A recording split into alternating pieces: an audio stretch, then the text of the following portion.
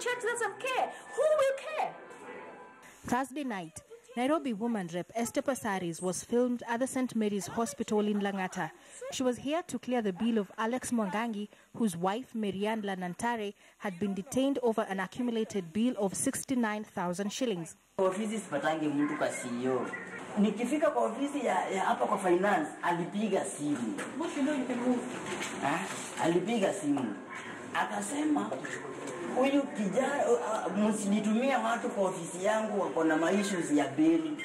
Marianne had delivered a premature baby girl who was put in a nursery for 19 days and later placed under kangaroo care for another seven days.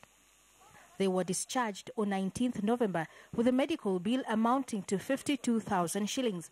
She, however, could not be freed until the bill was settled. By 4th November, Mwangangi, a hawker at Wakulima Market, had managed to raise 35,000 shillings. He pleaded with the hospital to release his family and agreed on how to settle the balance since each day attracted 800 shillings. The appeal fell on deaf ears. The church has to serve the people with zero profit, just break even. The visibly furious legislator settled the bill, but before she could leave, a drunken man confronted her, wanting to know why St. Mary's should provide services for free. Excuse me, do you work here? Yeah, yeah, work here. Yeah, you're not supposed to give services for free. So What about But excuse me, excuse me, what is your position? I don't, I, I don't, don't madam about my position. position But you're eh? drunk. Yes, exactly. You're. But I'm asking Are you working question. here? Huyu anafanya kazi hapa? Sifanyi kazi hapa.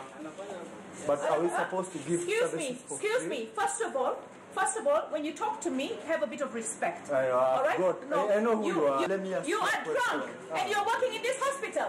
Just go. You are, sec- you are in charge of security. Where you are wearing? Huyu ame- amelewa kabisa, anafanya kazi kwa hii hospitali. The security team said the man was a hospital staff who was off duty at the time. Your security, you've let him go in. A drunk man doesn't have control of his senses. This is a hospital with vulnerable women and patients. At the start of this year, the hospital gained prominence following an ownership dispute between the Assumption Sisters of Nairobi and Father William Fryda, a case that had been in court for seven years. Caroline B., KTN News.